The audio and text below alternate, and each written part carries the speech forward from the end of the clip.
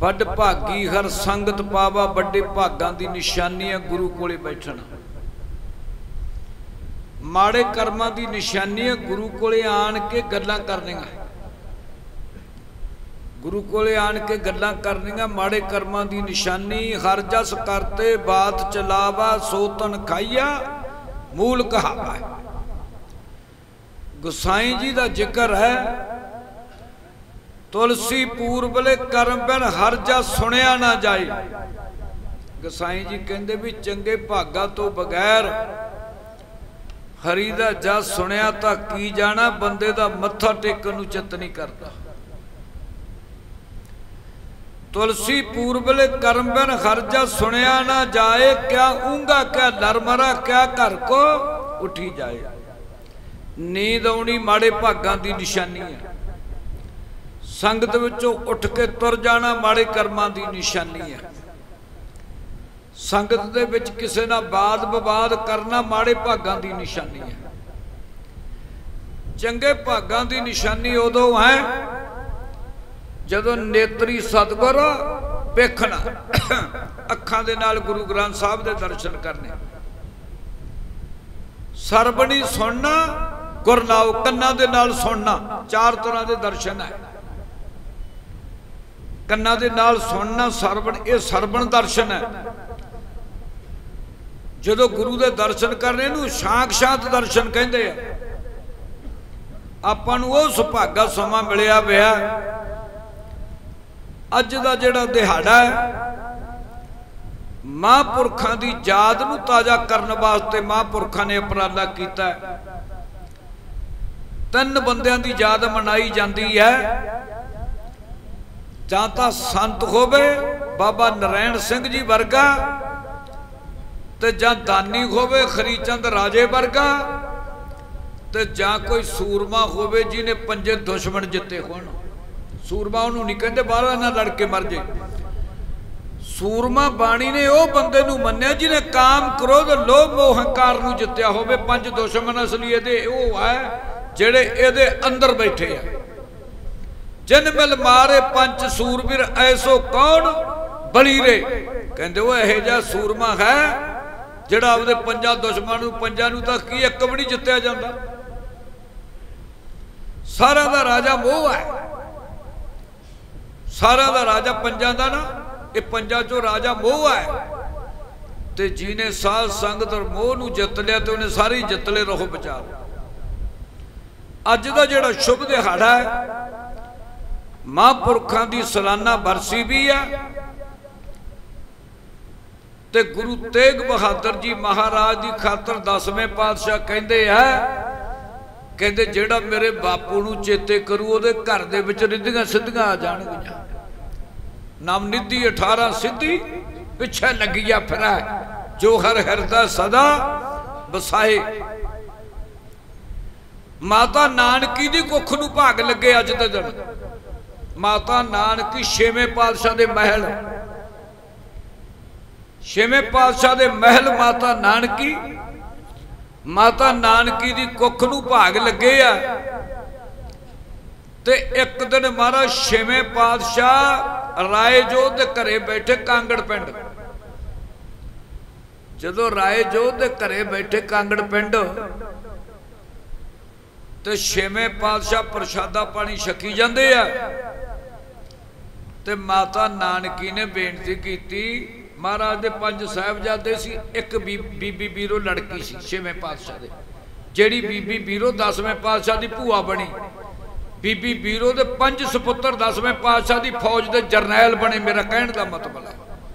ਭਗਾਣੀ ਦੇ ਯੁੱਧ 'ਚ ਨਾ, ਬੀਬੀ ਬੀਰੋ ਦੇ ਸੁਪੁੱਤਰ ਸੀ, ਜਿਹੜੇ ਫੌਜ ਦੇ ਜਰਨੈਲ ਸੀ 10ਵੇਂ ਪਾਤਸ਼ਾਹ ਦੀ ਦੇ। ਸੰਗੋ ਵਰਗੇ, ਜੀਤ ਮੱਲ ਵਰਗੇ ਬੀਬੀ ਬੀਰੋ ਦੇ ਸੁਪੁੱਤਰ ਸੀ, ਰਹੋ ਵਿਚਾਰ। ਮਾਤਾ ਨਾਨਕੀ ਛੇਵੇਂ ਪਾਤਸ਼ਾਹ ਨੂੰ ਪੁੱਛਦੀ ਹੈ, ਕਹਿੰਦੀ, ਮਹਾਰਾਜ ਜੀ, ਮੇਰੇ ਪੁੱਤ ਦਾ ਕੀ ਬਣੂ? ਗੁਰੂ ਤੇਗ ਬਹਾਦਰ ਜੀ ਮਹਾਰਾਜ ਦਾ ਪਹਿਲਾ ਨੌ ਤਿਆਗ ਸੀ। ਤੇਗ ਬਹਾਦਰ ਕਰਤਾਰਪੁਰ ਦੀ ਜੰਗ ਤੋਂ ਮਗਰੋਂ ਨਾ ਰੱਖਿਆ ਗਿਆ। ਮੇਰਾ ਕਹਿਣ ਦਾ ਮਤਲਬ ਹੈ, ਪਹਿਲਾ ਗੁਰੂ ਤੇਗ ਬਹਾਦਰ ਜੀ ਮਹਾਰਾਜ ਨੂੰ ਤਿਆਗ ਮੱਲ ਕਿਆ ਕਰਦੇ? ਕਹਿੰਦੀ, ਜੀ ਤਿਆਗ ਦਾ ਕੀ ਬਣੂਗਾ? ਕਹਿੰਦੇ, ਨਾਨਕੀ, ਕੀ ਗੱਲ ਹੈ? ਕਹਿੰਦੀ ਸੱਚੇ ਪਾਤਸ਼ਾਹ ਭੋਲਾ ਹੈ। ਮਤਲਬ ਵੀ ਸਿੱਧਾ ਸਾਦਾ ਬਾਣੀ 30 ਰਾਗਾਂ ਚ ਸੀ। 31ਵਾਂ ਰਾਗ ਗੁਰੂ ਤੇਗ ਬਹਾਦਰ ਜੀ ਮਹਾਰਾਜ ਦਾ ਜੈਜਾਵੰਤੀ ਦਾ ਹੈ। ਤੇ ਜਿਹੜੇ ਸ਼ਲੋਕ ਭੋਗਦੇ ਆ, ਇਹ ਗੁਰੂ ਤੇਗ ਬਹਾਦਰ ਜੀ ਮਹਾਰਾਜ ਦੇ 57 ਸ਼ਲੋਕ ਹੈ। ਤੇ ਜੇ ਕਿਤੇ 57 ਸ਼ਲੋਕਾਂ ਨੂੰ ਸੁਣਿਆ ਜਾਵੇ ਮਨ ਕਰਕੇ ਤੇ ਸਾਰੇ ਅਖੰਡ ਪਾਠ ਦਾ ਮਹਾਤਮ ਪ੍ਰਾਪਤ ਹੁੰਦਾ ਹੈ। ਮੇਰਾ ਕਹਿਣ ਦਾ ਮਤਲਬ ਹੈ, ਗੁਰੂ ਤੇਗ ਬਹਾਦਰ ਜੀ ਮਹਾਰਾਜ ਦੀ ਖਾਤਰ ਜਦੋਂ ਮਾਤਾ ਨਾਨਕੀ ਨੇ ਪੁੱਛਿਆ ਤੇ ਮਹਾਰਾਜ ਛੇਵੇਂ ਪਾਤਸ਼ਾਹ ਕਹਿੰਦੇ, ਨਾਨਕੀ, ਹਾਂ ਮਹਾਰਾਜ, ਕਹਿੰਦੇ ਤੂੰ ਆਪਦੇ ਪੁੱਤ ਦੀ ਕੀ ਗੱਲ ਕਰਦੀ ਐ? ਤੇਰਾ ਪੁੱਤ ਕਿਸੇ ਦਿਨ ਨੂੰ ਹਿੰਦ ਦੀ ਚਾਦਰ ਬਣੂਗਾ। ਮੈਂ ਤਾਂ ਇਹਦੇ ਨਾਲ ਪਿਆਰ ਕਰਦਾ। ਗੁਰੂ ਤੇਗ ਬਹਾਦਰ ਛੇਵੇਂ ਪਾਤਸ਼ਾਹ ਪੰਜਾਂ ਸਹਿਬਜ਼ਾਦਿਆਂ ਨਾਲੋਂ, ਬਾਬਾ ਗੁਰਦੱਤਾ ਨਾਲੋਂ ਬਾਬਾ ਟੱਲ ਨਾਲੋਂ ਬਾਬਾ ਸਾਧ ਸੰਗਤ ਪੰਜਾਂ ਸਹਿਬਜ਼ਾਦਿਆਂ ਨਾਲੋਂ, ਚਾਰਾਂ ਨਾਲੋਂ ਤੇ ਗੁਰੂ ਤੇਗ ਬਹਾਦਰ ਜੀ ਜ਼ਿਆਦਾ ਪਿਆਰ ਕਰਦੇ ਛੇਵੇਂ ਪਾਤਸ਼ਾਹ। ਕਹਿੰਦੇ, ਨਾਨਕੀ, ਮੈਨੂੰ ਇਹਦਾ ਤਾਂ ਪਿਆਰ ਆਉਂਦਾ ਕਿ ਇਹਨੇ ਕਿਸੇ ਦਿਨ ਨੂੰ ਹਿੰਦ ਦੀ ਚਾਦਰ ਬਣਨਾ ਕਹਿਣ ਲੱਗੀ, ਸੱਚੇ ਪਾਤਸ਼ਾਹ, ਹਿੰਦ ਦੀ ਚਾਦਰ। ਕਹਿੰਦੇ, ਹਿੰਦ ਦੀ ਚਾਦਰ ਕੱਲੀ ਨਾ ਬਨ ਮੰਨੀ। ਕਹਿਣ ਲੱਗੇ, ਤੇਰੇ ਘਰੇ ਪੋਤਰਾ ਇਹ ਜਾਂ ਜਨਮ ਲਊ, ਜਿਹੜਾ ਤੁਹਾਡੀ ਕੁਲ ਨੂੰ ਸੂਰਜ ਵਾਂਗੂ ਚਮਕਾ ਕੇ ਰੱਖ ਇਹ ਛੇਵੇਂ ਪਾਤਸ਼ਾਹ ਦੇ ਬਚਨ ਹੈ। ਉਹ ਪੂਰੇ ਹੋਏ। ਇਸੇ ਤਰ੍ਹਾਂ ਭਾਈ ਮੇਰੇ ਨੇ ਬੇਨਤੀ ਕੀਤੀ ਛੇਵੇਂ ਪਾਤਸ਼ਾਹ ਨੇ। ਮਹਾਰਾਜ ਜੀ, ਮੇਰਾ ਸੀ ਬਕਾਲੇ ਦਾ। ਬਾਬਾ ਬਕਾਲਾ ਮਗਰੋਂ ਨੌ ਪਿਆ, ਪਹਿਲਾਂ ਬਕਾਲਾ ਸੀ। ਬਕਾਲੇ ਦੇ ਰਹਿਣ ਵਾਲਾ ਭਾਈ ਮੇਰਾ, ਛੇਵੇਂ ਪਾਤਸ਼ਾਹ ਨੂੰ ਬੇਨਤੀ ਕਰਦਾ, ਮਹਾਰਾਜ ਜੀ, ਮੇਰਾ ਮਕਾਨ ਤਿਆਰ ਹੈ। ਮੇਰੇ ਘਰ, ਮੈਂ ਘਰ ਤਿਆਰ ਕੀਤਾ, ਚਰਨ ਪਾ ਕੇ ਨਾ ਘਰ ਨੂੰ ਪਵਿੱਤਰ ਕਰੋ। ਕਹਿੰਦੇ ਵੀ ਫੇਰ ਆਵਾਂਗੇ। ਜਦੋਂ ਕਿਹਾ ਨਾ ਫੇਰ ਆਵਾਂਗੇ ਤੇ ਉਹ ਉਦਾਸ ਹੋ ਗਿਆ ਵੀ ਛੇਵੇਂ ਪਾਤਸ਼ਾਹ ਨੇ ਮੈਨੂੰ ਟਾਈਮ ਨਹੀਂ ਦਿੱਤਾ। ਛੇਵੇਂ ਪਾਤਸ਼ਾਹ ਦੇ ਮਾਤਾ ਗੰਗਾ। ਮਾਤਾ ਗੰਗਾ ਕਹਿੰਦੀ, ਮੇਰੇ ਕੀ ਗੱਲ ਹੈ? ਕਹਿੰਦੀ ਕਹਿਣ ਲੱਗਾ, ਮਾਤਾ ਜੀ, ਮੈਂ ਘਰ ਪਵਿੱਤਰ ਕਰਾਉਣਾ ਸੀ, ਛੇਵੇਂ ਪਾਤਸ਼ਾਹ ਨੇ ਮੈਨੂੰ ਟਾਈਮ ਨਹੀਂ ਦਿੱਤਾ। ਕਹਿਣ ਲੱਗੀ, ਮੇਰੇ ਤੂੰ ਚੱਲ, ਮੈਂ ਛੇਵੇਂ ਪਾਤਸ਼ਾਹ ਨੂੰ ਲੈ ਕੇ ਆ ਸਮਾਂ ਆਇਆ। ਇੱਕ ਦਿਨ ਮਾਤਾ ਗੰਗਾ ਕਹਿਣ ਲੱਗੀ, ਮਹਾਰਾਜ ਜੀ, ਆਪਾਂ ਬਕਾਲੇ ਚੱਲਣਾ ਮਹਾਰਾਜ ਨੂੰ ਪਤਾ ਸੀ ਛੇਵੇਂ ਪਾਤਸ਼ਾਹ। ਕਹਿੰਦੇ, ਮਾਤਾ ਜੀ, ਕੀ ਗੱਲ ਕਹਿੰਦੀ, ਮਹਾਰਾਜ, ਤੁਸੀਂ ਬਕਾਲੇ 'ਚ ਚਰਨ ਪਾ ਕੇ ਭਾਈ ਮੇਰੇ ਦਾ ਘਰ ਪਵਿੱਤਰ ਕਰਨਾ ਤੇ ਮੈਂ ਬਕਾਲੇ 'ਚ ਸਰੀਰ ਛੱਡਣਾ ਮਾਤਾ ਗੰਗਾ ਕਹਿੰਦੀ ਹੈ, ਕਹਿੰਦੀ, ਸੱਚੇ ਪਾਤਸ਼ਾਹ ਮੈਂ ਸਰੀਰ ਛੱਡਣਾ ਬਕਾਲੇ 'ਚ, ਤੇ ਤੁਸੀਂ ਭਾਈ ਮੇਰੇ ਦੇ ਘਰੇ ਪਾ ਚਰਨ ਪਾ ਕੇ ਘਰ ਨੂੰ ਭਾਗ ਲਾਉਣੇ ਆ। ਚਲੇ ਗਏ। ਮਾਤਾ ਗੰਗਾ ਦਾ ਸਰੀਰ ਛੱਡਣ ਦਾ ਸਮਾਂ ਆਇਆ। ਜਦੋਂ ਸਰੀਰ ਛੱਡਣ ਦਾ ਸਮਾਂ ਆਇਆ ਨਾ, ਤੇ ਕੀਰਤਨ ਹੋਣ ਲੱਗ ਗਿਆ। ਤੇ ਮਹਾਰਾਜ ਛੇਵੇਂ ਪਾਤਸ਼ਾਹ ਨੇ ਪੁੱਛਿਆ, ਮਾਤਾ ਜੀ, ਕਹਿੰਦੀ, ਹਾਂ ਭਾਈ ਕਹਿੰਦੀ ਕਹਿੰਦੇ ਕਿ ਚਾਰ ਤਰ੍ਹਾਂ ਦਾ ਸਸਕਾਰ ਆ, ਛੇਵੇਂ ਪਾਤਸ਼ਾਹ ਪੁੱਛਦੇ ਆ। ਇੱਕ ਸੰਸਕਾਰ ਕਰਦੇ ਆ, ਇੱਕ ਉਹ ਆ ਜਿਹੜੇ ਧਰਤੀ 'ਚ ਦਫਨਾਉਂਦੇ ਆ, ਇੱਕ ਦਰਖਤ ਨਾਲ ਲਟਕਾ ਦਿੰਦੇ ਆ ਤੇ ਇੱਕ ਜਲ ਪ੍ਰਵਾਹ ਕਰਦੇ ਆ। ਜਿਵੇਂ ਅੱਜ ਸ਼੍ਰੀ ਮਾਨ ਸੰਤ ਬਾਬਾ ਮਾਨ ਸਿੰਘ ਜੀ ਹੋਣਾ ਦਾ ਸਰੀਰ ਦਾ ਜਲ ਪ੍ਰਵਾਹ ਹੋਇਆ। ਇਹਨੂੰ ਵੀ ਸਸਕਾਰ ਕਹਿੰਦੇ ਜਲ ਜਲ ਪ੍ਰਵਾਹ ਤੇ ਮਹਾਰਾਜ ਨੇ ਪੁੱਛਿਆ, ਛੇਵੇਂ ਪਾਤਸ਼ਾਹ ਨੇ ਮਾਤਾ ਜੀ ਚਾਰ ਤਰ੍ਹਾਂ ਦੇ ਸੰਸਕਾਰ ਚੋਂ ਤੁਹਾਡਾ ਸੰਸਕਾਰ ਕਿਹੜਾ ਕਰਗੇ? ਕਹਿੰਦੀ, ਭਾਈ ਆਉ ਕਰਿਓ। ਮੇਰੇ ਸਿਰ ਦੇ ਸਾਈਂ ਵੀ ਰਾਵੀ ਚ ਲੋਪ ਹੋਏ ਆ ਬਈ ਜਲ ਪ੍ਰਵਾਹ ਹੋਇਆ ਤੇ ਮੇਰੇ ਸਰੀਰ ਨੂੰ ਵੀ ਜਲ ਪ੍ਰਵਾਹ ਕਰ ਦੇ ਇਹਨੂੰ ਕਹਿੰਦੇ, ਸੂਰਜ ਕਿਰਨ ਮਲੀ, ਜਲ ਕਾ ਜਲ ਹੁਆ RAM ਜੋਤਿ ਜੋਤ ਰਲੀ ਸੰਪੂਰਨ ਥਿਆ RAM ਸਾਧ ਸੰਗਤ ਕਹੇ ਜਾਂ ਸੀਨ ਹੋਣਾ ਜਦੋਂ ਮਾਤਾ ਗੰਗਾ ਨੇ ਸਰੀਰ ਛੱਡਿਆ ਤੇ ਸੰਗਤਾਂ ਜਲ ਪ੍ਰਵਾਹ ਕਰਨ ਵਾਸਤੇ ਜਦੋਂ ਲੈ ਕੇ ਜਾਂਦੇ, ਜਿਵੇਂ ਅੱਜ ਮਹਾਂਪੁਰਖਾਂ ਦੇ ਸਰੀਰ ਨੂੰ ਜਲ ਪ੍ਰਵਾਹ ਕੀਤਾ, ਜਦੋਂ ਮਾਤਾ ਗੰਗਾ ਨੇ ਸਰੀਰ ਛੱਡਿਆ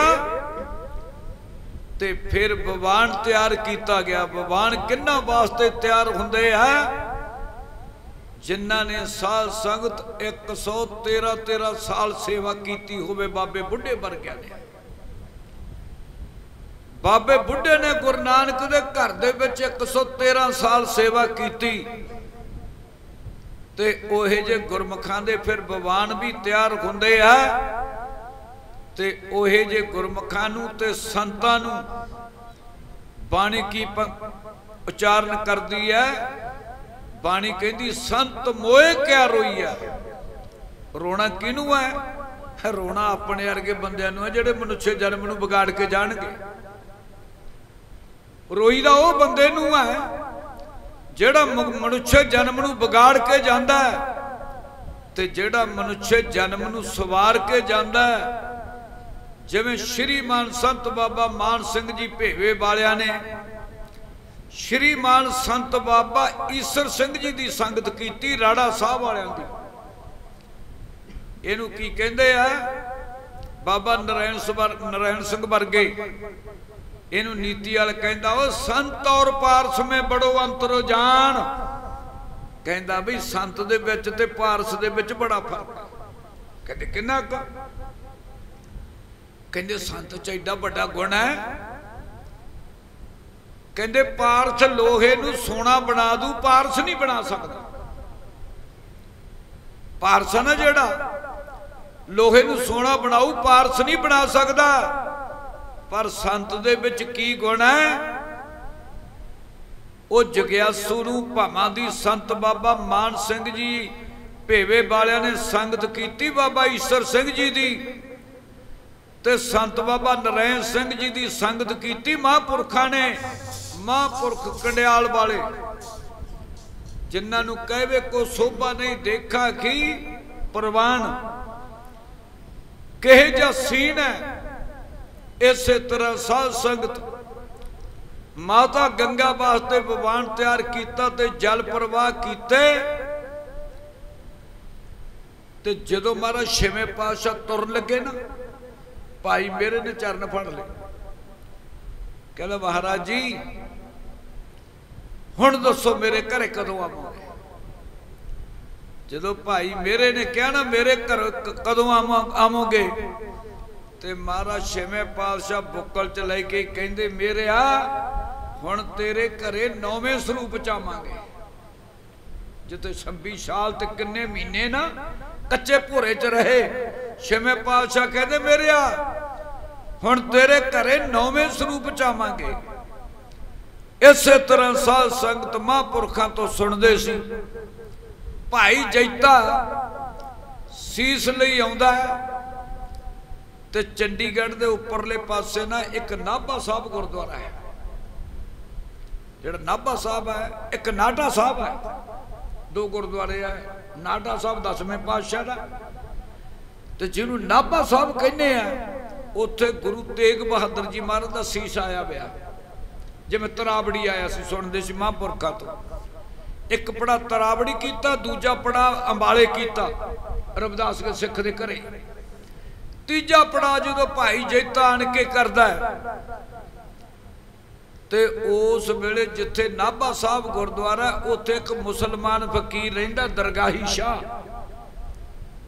ਦਰਗਾਹੀ ਸ਼ਾਹ ਫਕੀਰ ਕੀ ਕਰਦਾ ਹੈ? ਉਹ ਗੁਰੂ ਤੇਗ ਬਹਾਦਰ ਜੀ ਮਹਾਰਾਜ ਨੂੰ ਚੇਤੇ ਕਰਦਾ ਹੈ।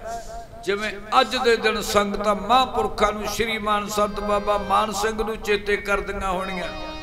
ਦਰਗਾਹੀ ਸ਼ਾਹ ਫਕੀਰ ਗੁਰੂ ਤੇਗ ਬਹਾਦਰ ਜੀ ਮਹਾਰਾਜ ਨੂੰ ਜਦੋਂ ਚੇਤੇ ਕਰਦਾ ਕਹਿੰਦਾ, ਸੱਚੇ ਪਾਤਸ਼ਾਹ, ਇੱਕ ਘੜੀ ਨਾ ਮਿਲਤੇ ਤਾਂ ਕਲਯੁਗ ਹੋਤਾ।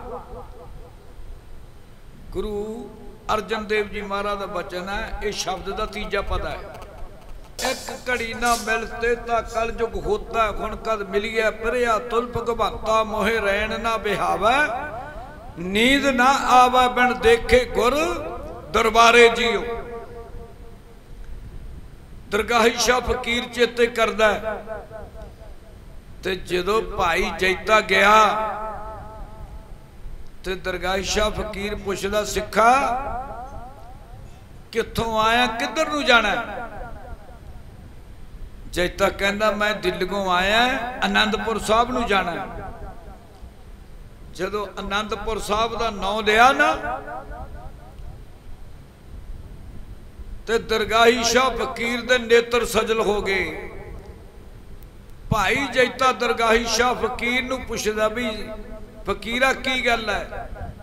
ਕਹਿੰਦਾ, ਆ ਜਿਹੜਾ ਮੈਂ ਬੈਠਾ ਨਾ ਇੱਥੇ, ਇਹ ਬੂਟਾ ਗੁਰੂ ਤੇਗ ਬਹਾਦਰ ਜੀ ਮਹਾਰਾਜ ਦਾ ਲਾਇਆ ਹੋਇਆ ਤੇ ਮੈਂ ਗੁਰੂ ਤੇਗ ਬਹਾਦਰ ਜੀ ਮਹਾਰਾਜ ਨੂੰ ਢੀਕਦਾ ਜਦੋਂ ਗੁਰੂ ਤੇਗ ਬਹਾਦਰ ਜੀ ਮਹਾਰਾਜ ਦਾ ਨਾਮ ਲਿਆ ਤੇ ਭਾਈ ਜੈਤੇ ਦੇ ਨੇਤਰ ਸਜਲ ਹੋ ਗਏ ਤੇ ਦਰਗਾਹੀ ਸ਼ਾਹ ਫਕੀਰ ਪੁੱਛਦਾ ਬਈ ਕੀ ਗੱਲ ਹੋ ਗਈ? ਤੇ ਭਾਈ ਜੈਤਾ ਨਾਲੇ ਸੀਸ ਦੇ ਦਰਸ਼ਨ ਕਰਾਉਂਦਾ ਜਿਵੇਂ ਅੱਜ ਮਹਾਪੁਰਖਾਂ ਦੇ ਸਰੀਰ ਦੇ ਦਰਸ਼ਨ ਅੰਤ ਅੰਤਮ ਅੰਤਮ ਅਰਦਾਸ ਦੇ ਵਿੱਚ ਕਰਾਏ ਗਏ। ਸ੍ਰੀਮਾਨ ਸੰਤ ਬਾਬਾ ਮਾਨ ਸਿੰਘ ਜੀ ਦੇ। ਇਸੇ ਤਰ੍ਹਾਂ ਭਾਈ ਜੈਤਾ ਨਾਲੇ ਸੀਸ ਦੇ ਦਰਸ਼ਨ ਕਰਾਵੇ ਤੇ ਨਾਲੇ ਉੱਚੀ ਉੱਚੀ ਨੇਤਰ ਸਜਲ ਕਰਕੇ ਕਹੇ ਕਬੀਰ ਸਾਹਿਬ ਕਹਿੰਦੇ ਹੋ, ਰੱਬ ਦੇ ਪਿਆਰੇ ਤੋਂ ਬਗੈਰ ਦੁਨੀਆ ਅਜਾੜ ਹੀ ਹੋ ਜਾਂਦੀ ਹੈ। ਰੱਬ ਦੇ ਪਿਆਰੇ ਤੋਂ ਬਗੈਰ ਨਾ ਦੁਨੀਆ ਅਜਾੜ ਦਿੰਦੀ ਹੈ। ਜਦੋਂ ਭਾਈ ਜੈਤੇ ਨੇ ਸੀਸ ਦੇ ਕਿਰਾਏ ਦਰਸ਼ਨ ਤੇ ਦਰਗਾਹੀ ਸ਼ਾਹ ਫਕੀਰ ਦੀ ਨਿਕਲੀ ਧਾ ਕਹਿੰਦਾ ਓਏ ਮਣਾ, ਸੀਸ ਦੇ ਦਰਸ਼ਨ ਕਰਕੇ ਨਾ ਧਾ ਮਾਰ ਕੇ ਕਹਿੰਦਾ, ਦਰਗਾਹੀ ਸ਼ਾਹ ਫਕੀਰ ਕਹਿੰਦਾ, ਸੱਚੇ ਪਾਤਸ਼ਾਹ, ਤੇ ਜਦੋਂ ਕੋਈ ਰੱਬ ਦਾ ਪਿਆਰਾ ਜਾਂਦਾ ਨਾ, ਤੇ ਉਦੋਂ ਬੰਦੇ ਨੂੰ ਲੱਗਦਾ ਵੀ ਮੇਰੀ ਤਾਂ ਜਾਨ ਨਿਕਲ ਗਈ। ਨੀਤੀ ਵਾਲਾ ਕਹਿੰਦਾ ਕਹਿੰਦਾ, ਏਕ ਬਿਸ਼ਰਤ ਪ੍ਰਾਨ ਹਿਤ ਲਈ। ਇਹ ਵਿਛੋੜੇ ਦਾ ਦੁੱਖ। ਅੱਜ ਸ਼੍ਰੀ ਮਾਨ ਸੰਤ ਬਾਬਾ ਮਾਨ ਸਿੰਘ ਜੀ ਦੇ ਸਰਦਾਲੂਆਂ ਨੂੰ ਪਤਾ ਹੋਣਾ ਵੀ ਕਿੱਡਾ ਦੁੱਖ ਆ ਵਿਛੋੜੇ ਦਾ। ਜਿਹੜੀ ਮੈਂ ਪੰਕਤੀ ਪੜ੍ਹੀ ਹੈ ਨੀਤੀ ਵਾਲਾ ਕਹਿੰਦਾ ਕਹਿੰਦਾ, ਇੱਕ ਵਿਛੜਤ ਪ੍ਰਾਨ ਹਿੱਤ ਲਈ। ਕਹਿੰਦਾ, ਉਹ ਇੱਕ ਦੇ ਵਿਛੋੜੇ ਦਾ ਐਡਾ ਵੱਡਾ ਦੁੱਖ ਹੈ। ਸਰਦਾਲੂ ਨੂੰ ਲੱਗਦਾ ਮੇਰੀ ਤਾਂ ਬਈ ਜਾਨ ਨਿਕਲਦੀ ਜਾਂਦੀ ਹੈ। ਇਸੇ ਤਰ੍ਹਾਂ ਇਹ ਦੁੱਖ ਦਰਗਾਹੀ ਸ਼ਾਹ ਫਕੀਰ ਨੂੰ ਜਦੋਂ ਰਾਤ ਕੱਟੀ, ਦਿਨ ਚੜ੍ਹਦੇ ਦੇ ਨਾਲ ਭਾਈ ਜੈਤਾ ਤੁਰਨ ਲੱਗਿਆ। ਜਦੋਂ ਤੁਰਨ ਲੱਗਿਆ ਨਾ, ਜਿਵੇਂ ਅੱਜ ਮਹਾਪੁਰਖਾਂ ਦੇ ਸਰੀਰ ਦਾ ਜਲ ਪ੍ਰਵਾਹ ਹੋਇਆ ਤੇ ਸੰਗਤਾਂ ਕਿਹੇ ਜੀਆਂ ਪੰਗਤੀਆਂ ਪੜ੍ਹਦੀਆਂ ਹੋਣੀਆਂ ਤੇ ਦਰਗਾਹੀ ਸ਼ਾਹ ਫਕੀਰ ਆ ਧਾਰਨਾ ਪੜ੍ਹਦੇ ਸਮਾਂ ਹੋਇਆ, ਲੋਕ ਸੁਖ ਗਏ। ਪਰ ਲੋਕ ਸੁਹੇਲੇ, ਨਾਨਕ, ਹਰ ਪ੍ਰਭ, ਆਪੇ ਮਿਲੇ